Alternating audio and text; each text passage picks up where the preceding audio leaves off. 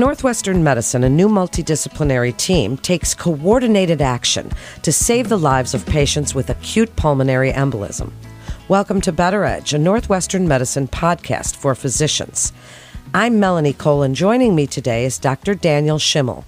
He's an interventional cardiologist, associate professor of medicine in cardiology, and he's the director of the cath lab at the Bluhm Cardiovascular Institute at Northwestern Medicine. He's here to discuss Northwestern Medicine's pulmonary embolism response team. Dr. Schimmel, it's a pleasure to have you with us today. Thank you so much for joining us. Can you tell us a little bit about how Northwestern Medicine created this PERT team to provide the best possible care for patients with pulmonary embolism? How did this come about? Well, thank you for having me. This got started in conversation about eight years ago, and it's continued to evolve over that time. But what we found is that when patients present and are unstable or are in shock with a pulmonary embolism, and we classify as massive pulmonary embolism, we found that there was varied care depending on the groups that were called to the bedside, and we needed an interdisciplinary team that could provide a very fast consultation and then enact some tools that were infrequently used. And so there's a team of providers who kind of championed it to become experts in the care of this disease process. Well, then tell us about your role on the Northwestern Medicine Pulmonary Embolism Response Team. So, as an interventional cardiologist, I provide two roles. One of them is as an intensivist, coming to the bedside when an initial patient has the diagnosis and becomes unstable, and then caring for them in our cardiac critical care unit. But also, I provide the procedures that can be used to remove clot, aspirate clot, or provide thrombolytics to the clot. And sometimes that's done at the bedside with IV pushes and infusions. Sometimes it's done as a complicated procedure. And there are varied devices out now for pulmonary embolism, and some of them have benefits in certain situations, while others might be better with other comorbidities. And so it requires a knowledge of what devices are available. And then there's one other aspect that Northwestern has, which might not be available everywhere, but we're very lucky to be able to provide it, which is ECMO, which is putting someone on a heart lung bypass circuit emergently, sometimes at the bedside or in the cath lab, to provide support for someone who might be in cardiac arrest or about to arrest from their pulmonary embolism. Wow, that's quite an advancement and very exciting. So, Dr. Schimmel, give us a little overview of how PERT is set up at Northwestern Medicine, the sequence of steps that take place. Once it's activated, what's involved in evaluating the patients with suspected pulmonary embolism, and how is the PERT team experienced at evaluating these patients quickly and making those care decisions? So, for emergency response teams of this sort, there are two major types. One of them is a front loaded response team where multiple disciplines are called to the bedside at once. And that was a style that we had very early on in the process. And that included hematologists, interventional radiologists, cardiac surgeons, interventional cardiologists, and ER physician and pulmonologists. But over time, we realized that each of us had a different strength along the care pathway. And so now we've moved more towards a tiered approach where an intensivist comes to the bedside and then can reach out to those disciplines as needed.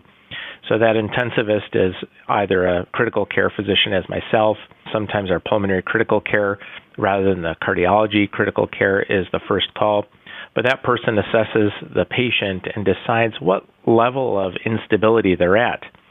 And SCAI recently had some nice consensus guidelines on shock that were meant for the left side of the heart, but we've applied them here to the right side as well. And that helps us risk stratify patients a little bit more clearly so that we can decide if we're going to do something as extreme as putting them on the cardiac lung bypass circuit, or if we're going to take them to the cath lab and revascularize their lung circulation, or if we're going to provide anticoagulation and monitor in our critical care unit.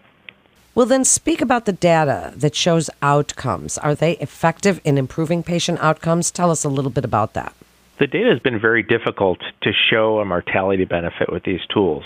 Both the tools that I've discussed, meaning the heart lung bypass machine or any of the interventional therapies that are available. And a lot of that has to do with the heterogeneity of the disease process. We have risk scores that have been developed over many years, many of them done in isolation, meaning that therapies were not associated with those risk scores. So we know who's at risk, but studies haven't been done at the level that they need to to define a mortality benefit for those patients who have immediately life threatening pulmonary embolism, other than systemic lytics, which was done a long time ago, and honestly in a fashion that is not quite as robust as our current level of evidence with clinical trials. But systemic lytics do hold a place in the treatment therapy for acute PE for someone who's in shock or in cardiac arrest but it hasn't been compared head to head with the heart lung bypass machine or these interventional strategies. The biggest difficulty is that the systemic lytics is contraindicated in a great number of patients. And two thirds of the time, when it is indicated, physicians still are hesitant to give it because of the bleeding risks that are associated with systemic lytics. And when the adverse event profile is so high and it makes us hesitate to give a life saving therapy, well, then we have to look at other strategies to support the patient. And that's where these other tools have come out. Now, as far as the team is concerned and what its effect has been, that has had a number of studies done as well, and there's been some varied results, but for the most part, it shows a decreased length of stay. There isn't necessarily an increase in interventional therapies, but there's definitely an improvement in the physicians and patients being comfortable with the therapies that are being recommended and given. Well, let's talk about some of those. And you've spoken about the multidisciplinary approach of the PERT team. So now speak about the treatments that are available and how has technology for treating PE advanced greatly in recent years? Well, there's been a race to find an interventional strategy that decreases the risk of bleeding but still improves blood flow to the lung circulation in order to both improve somebody's respiratory status if they have increased work of breathing or hypoxia that kind of falls outside the guidelines, but it's certainly an indication to provide advanced care. And then when someone's in shock, there are therapies that are being used. So the large categories that are available from the interventional lab include catheter directed thrombolytics. And before 2014, there wasn't a whole lot of guidance on how to provide that therapy. Starting in 2014, though, there have been a number of studies looking to find the right dose and the right duration of infusion time for catheter directed lytics to provide some guidance in order to get the best benefit with the lowest risk of bleeding. And then since then, a whole new category of catheter directed devices that are not based on thrombolytics but use suction embolectomy to remove clot have been developed. A number of manufacturers have devices that differ in some ways from each other, some with a quick aspiration, some with a continuous aspiration and a pump. There are new technologies meant to deliver blood back to the patient after aspiration so we don't have large drops of hemoglobin with therapy. And there's even more devices that are currently undergoing development that try and capture it almost like in a basket there are many more devices for deep vein thrombosis, but there are in the lung circulation some hurdles that have to be overcome for those catheter therapies to be developed to be effective and not be high risk. I think the biggest thing for a cardiologist is that we've gotten very comfortable with large bore access devices and moving them through the cardiovascular space, mostly because of the advancements in structural heart disease. So a lot of that comfort level has now moved over into the pulmonary vascular space as well such an exciting time in your field, Dr. Schimmel. As we get ready to wrap up, I'd like you to give some bullet points, the key takeaways from this podcast for providers who are listening regarding the importance of this rapid response for pulmonary embolism and what you would like to tell them about creating this type of program if they would like to do that at their system. What's involved? Really just give us your best advice. So, two questions there. The top three bullet points for treating acute pulmonary embolism. I say the first one is if there are no contraindications, anticoagulate immediately. Low molecular weight heparin has been shown to get patients to a therapeutic anticoagulation goal faster than unfractionated heparin. And for most patients, most patients do not have that massive pulmonary embolism or the highest risk pulmonary embolism. And so anticoagulation alone is that strategy and it should be provided quickly. That saves lives.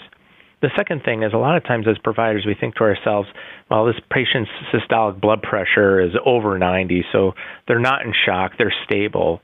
But there are many signs that show instability besides a systolic blood pressure, whether it be an elevated lactate or rise in the creatinine.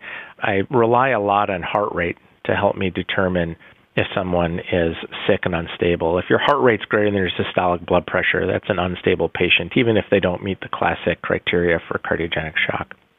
And the third thing that I think is really important, and this is a system intervention that needs to be had, is that patients need to have a formatted, structured follow up after their discharge from the hospital with pulmonary embolism.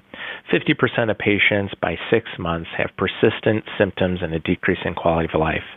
And there's education issues. When patients have higher risk PE, they're more at risk for this concept called chronic thromboembolic pulmonary hypertension, which is the thrombus or clot that doesn't resolve over time. Some studies suggest that when you come in with submassive, that your risk for elevated pulmonary pressures at six months might be as high as 16% or higher. And so, follow up with a pulmonologist or cardiologist, I think, is very helpful for someone, particularly who has RV, right ventricular dysfunction, when they show up with pulmonary embolism. So, those are my three bullet points for treating PE. As far as the team's concerned, it's really important to have a group of people who are committed to learning about the devices, trying to parse through the data. When there is a lot of data to guide physicians, the team concept really isn't necessary because we have a defined pathway that no one really disagrees on. There are not as many nuances.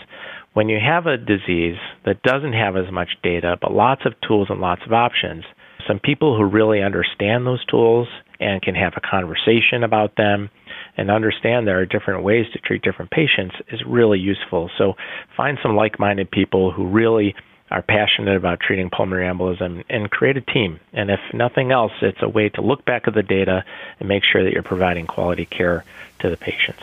Great advice. Such an educational podcast. Thank you so much, Dr. Schimmel, for joining us today. To refer your patient or for more information, please visit our website at breakthroughsforphysicians.nm.org slash cardiovascular to get connected with one of our providers. And that concludes this episode of Better Edge, a Northwestern medicine podcast for physicians. Please always remember to subscribe, rate, and review this podcast and all the other Northwestern medicine podcasts. I'm Melanie Cole.